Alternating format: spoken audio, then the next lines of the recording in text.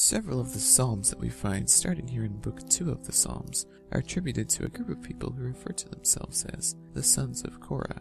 Many of their Psalms deal with some of the darker issues of human existence, such as dealing with death and depression. Many of these Psalms hint at the theme of resurrection from Sheol, or the realm of the grave. As the first Korah, see the book of Numbers, fell into Sheol alive, so the sons of Korah, seen of being raised up out of Sheol alive. In many Hebrew manuscripts, Psalms 42 and 43 constitute one psalm. The writer sings, As the deer pants for water, so my soul longs for you, O God. Your waves break over me. Why are you downcast, O my soul? Hope in God. He continues, Vindicate me, O God. Why have you rejected me? Send forth your light and your truth. Why are you downcast, O my soul? hope in God. In Psalm 44, the sons of Korah sing, O God, our fathers have told us how you drove out the nations, but now you have sold your people. Awake, O Lord, rise up and help us.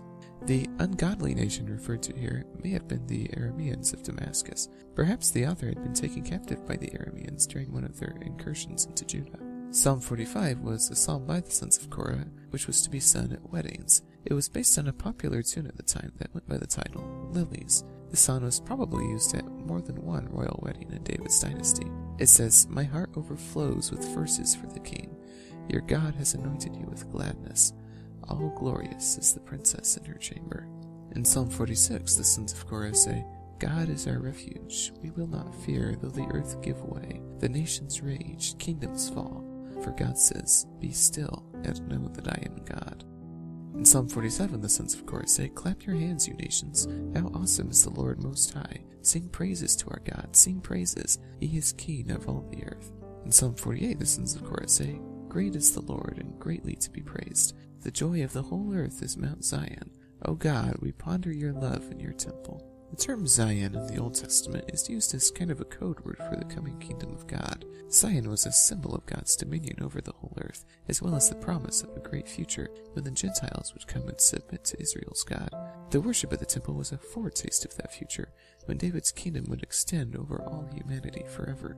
The very presence of Zion in a human city, Jerusalem, was proof that God's covenant was with people, and that, unlike the gods of the nations, he would indeed dwell among us. In Psalm 49, the sons of Korah say, Hear this, all peoples. Man in his pomp will not endure. He is like the beasts that perish, but God will ransom my soul from Sheol. The psalmist portrayed death, or the grave, as an insatiable monster feeding upon its victims. The grave, in Hebrew Sheol, refers in a general way to the realm of the dead, the netherworld, where it was thought departed souls lived. The Israelites viewed death as the opposite of life, and resurrection was not yet a part of their communal experience with God. The grave, in their view, brought no escape from God, but just how the ancient Israelites viewed the condition of the godly dead is unclear.